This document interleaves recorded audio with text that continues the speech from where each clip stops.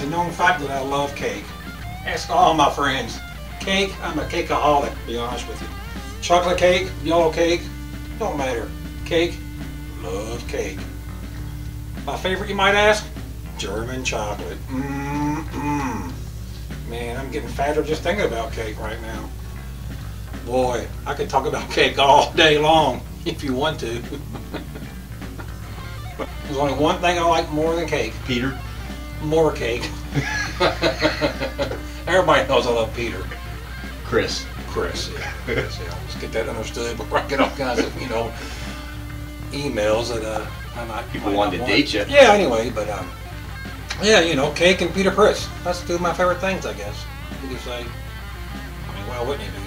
I would love to eat cake with Peter Criss. Actually, that would be cool because I'm sure he likes cake. What do you think? Yeah, Peter Criss. He's uh, don't tell me. That one right there.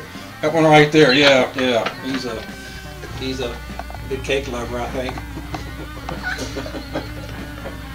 but uh, yeah, yeah. Peter Criss and cake. That's about sums it up. Actually, you know. I mean, I'm happy with eating either one.